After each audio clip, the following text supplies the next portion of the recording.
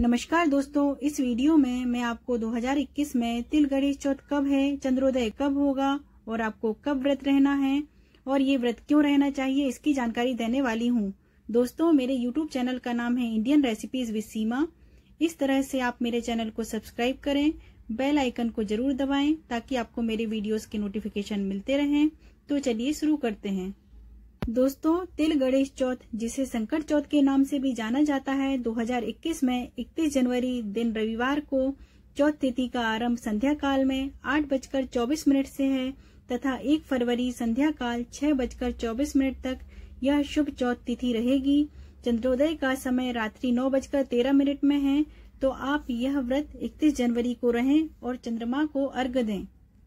दोस्तों संकट चौथ का व्रत माघ महीने के कृष्ण पक्ष में आता है इस व्रत को रहने से आपके बच्चों को आने वाले सभी संकटों का निवारण गणेश भगवान करते हैं। अतः सभी महिलाओं को यह व्रत अवश्य रहना चाहिए एवं तिथि अनुसार विधि पूर्वक यह व्रत रहें ताकि हमारे बच्चों के सारे विघ्न दूर हो सके। मित्रों, इस व्रत के लिए आवश्यक सामग्री का वीडियो आपको मेरे चैनल में मिल जाएगा एवं इस व्रत की संपूर्ण पूजा विधि, व्रत कथा एवं इस व्रत से संबंधित सभी जानकारी के लिए आपके लिए मैंने वीडियो भी बनाया है।